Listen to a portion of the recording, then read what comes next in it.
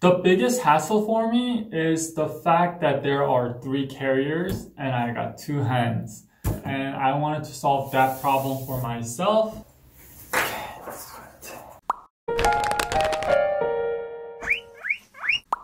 Hi everyone, this is GuineaDad here. Today's video is going to be kind of a DIY, but not really. I've mentioned it many times during the live and our videos, but you know, my commute is about 30 minutes from home to work and I don't bring the girls peanut tofu and dumpling to work all the time, but most of the time. So I have to carry all three of them. The biggest hassle for me is the fact that there are three carriers and I got two hands.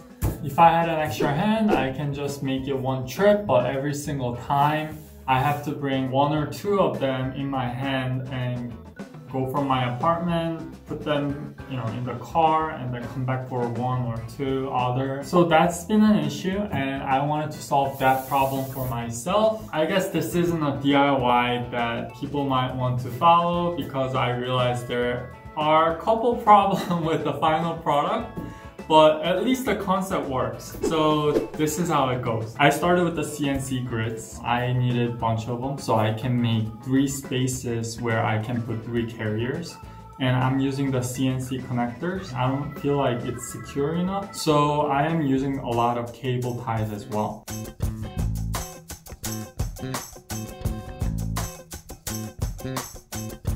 Once I'm done cable tying, I'm just cutting it, cutting the rest of it to make it look more clean. I'm adding the handles so I can carry it.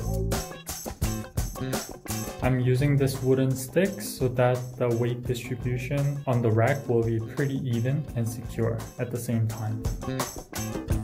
I'm going to add and sew the strap so that the strap itself is secured onto the wooden pole.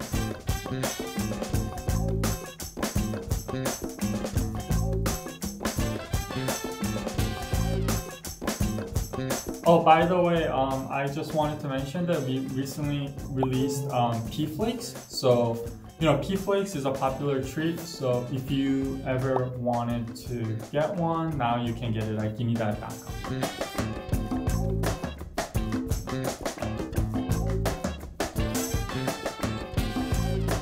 The final step, I need to see if the carrier fits. It fits. Once the carrier is put onto the rack, I'm securing the carriers with the bungee cords. I'm using two bungee cords per carrier. And it's done. Let's see if it works well.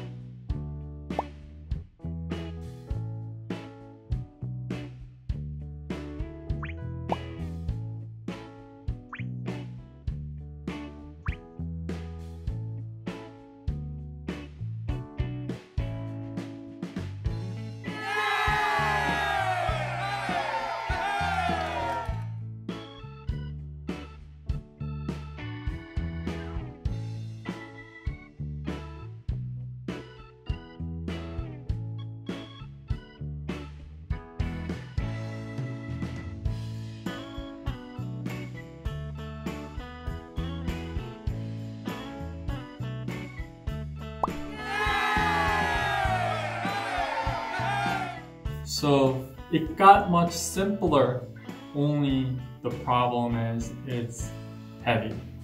It's really, really, really heavy. So